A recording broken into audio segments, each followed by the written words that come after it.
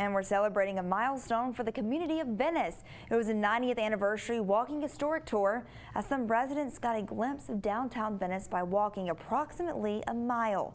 The tour points to their historic buildings, the architecture, and explains the history of Venice. The tour is looking add a bicycle ride and trolley ride, according to Ronnie Fernandez of Venice, Florida Tours. It's funny that a lot of people have actually lived here for, some of them have lived there most of their lives, and we're teaching them or showing them new things they didn't even know. So that's what makes it more fun and interesting.